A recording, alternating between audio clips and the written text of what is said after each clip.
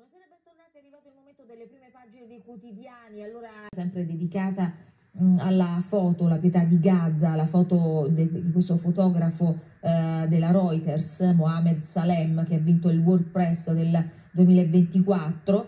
Mm, e poi eh, Basilicata, ultima chiamata alle urne, eh, la volata appunto ieri di Schlein e De Caro al, candida al, candidato di PD e 5 Stelle Marrese, oggi a Potenza anche Meloni, Salvini e Tajani che chiudono per il candidato Bardi. Allora ripartiamo da qui, facciamo il punto nel servizio sulle elezioni appunto regionali in Basilicata il prossimo eh, domenica e eh, lunedì del prossimo weekend.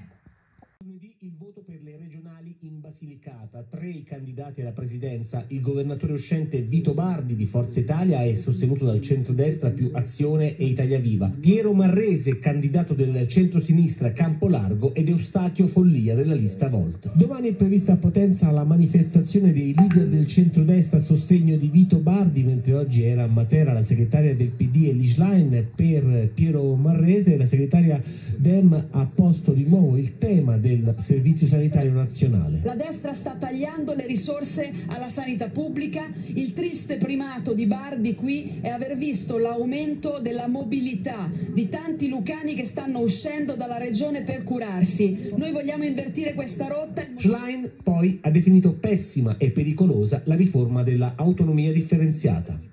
Denunciamo dall'inizio questa pessima e pericolosa riforma dell'autonomia differenziata e non si capisce perché il presidente di questa regione Bardi non abbia detto una parola contro un disegno che vuole spaccare il paese